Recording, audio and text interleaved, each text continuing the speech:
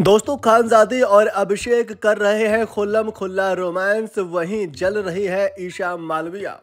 जी हाँ, हम आपको बता दें कि लाइव फ़ीड में कुछ ऐसा ही देखने को मिल रहा है, जहाँ खानजादी और अभिषेक को आप तस्वीरों में देख ही सकते हैं। दोनों ही यहाँ हाथों में हाथ डालकर, जी हाँ, सोफे पर बेसक बेशक बैठे हैं।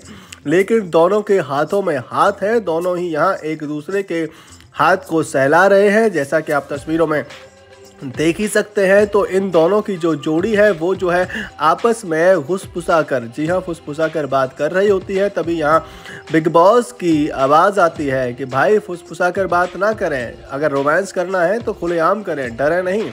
इस पर यहाँ सभी जो दूसरे घर वाले दूसरी तरफ़ बैठे होते हैं, वो जो ये कह रहे होते हैं कि भाई, सही तो कह रहे हैं बिग बॉस। क्या बात है बिग बॉस? क्या ही कहा है? इस पर ईशा की आँखों में यहाँ जलन वाकई में देखने को मिलती है, क्योंकि ईशा जो है अभिषेक को आज भी किसी और लड़की के साथ में देखना बिल्कुल पसंद नहीं करती है।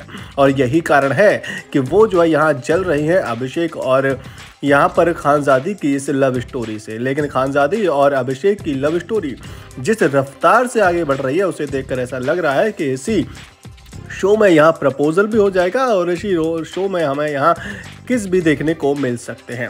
बहरहाल दोस्तों, खानजादी और अभिषेक के इस प्यार पर आपकी क्या राय है? आपको क्या लगता है, क्या ये प्यार टिक पाएगा इस शो में या फिर नहीं?